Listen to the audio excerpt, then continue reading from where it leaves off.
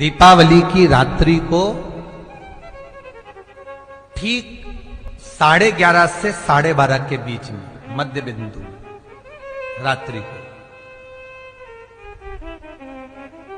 People अगर पास में हो तो पीपल, आंवला पास में हो तो आंवला, बेलपत्र पास में हो तो बेलपत्र।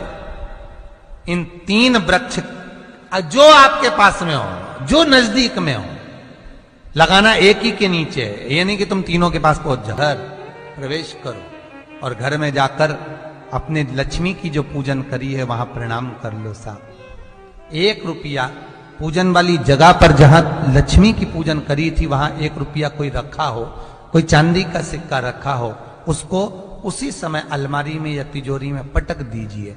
ज़िंदगी में कभी संपदा की कमी नहीं आ सकती। कितना भी कर्जा होगा माता लक्ष्मी गणेश और सरस्वती